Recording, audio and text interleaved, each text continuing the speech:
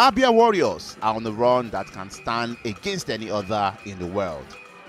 Not losing the opening 10 games of the season can be measured against any global standard.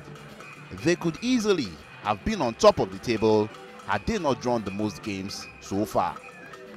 The visit of Lobi Stars was therefore seen as a chance to start correcting minimal wrongs of a hitherto good start to the season for the Umuahia side. This match day 11 encounter took two days to complete following heavy rain. Before the weather got in the way, Abia Warriors had taken the lead when Godwin Effiong, a late addition to the starting lineup, got on the end of a flick on by Michael Olaha to head home the opening goal after 12 minutes.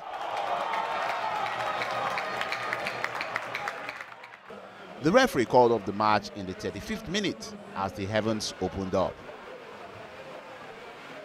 Action resumed the next day and the Warriors finished off what they had started so well the previous evening.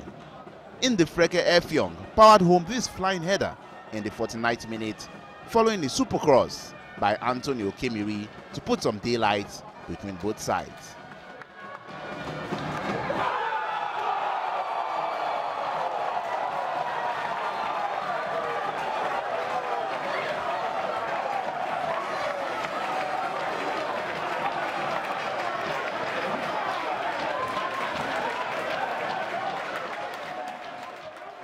It was the first time Lobi Stars had conceded a second half goal this season. It ended 2-0 and stretched Abia Warriors' unbeaten start to the season to 10 matches.